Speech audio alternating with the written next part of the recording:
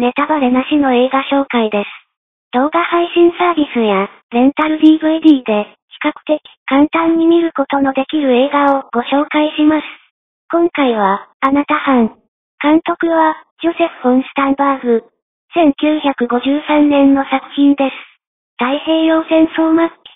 サイパンの北方にあることを、あなた班に孤立した十数名の生存者は、多数の男性に対し、若い女性がたった一人。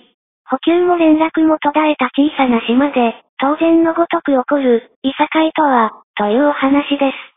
出演は、根岸明美、菅沼正、沢村喜三郎、中山昌司、近藤博士ほか、マレーネ、デイトリッチとゲイリー、クーパー共演の名作、モロッコで有名な、スタンバーグを迎えて制作された日本映画という一種の珍品。